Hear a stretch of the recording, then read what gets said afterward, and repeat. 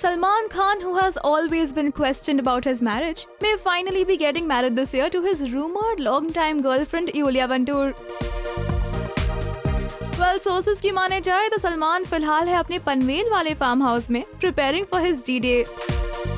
And how is he doing? Well, by grooming himself, of course.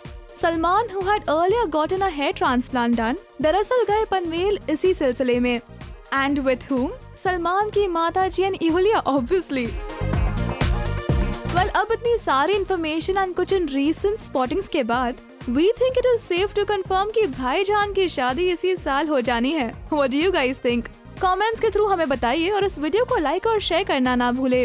For more updates on Salman and his wedding stay tuned to Bollywood now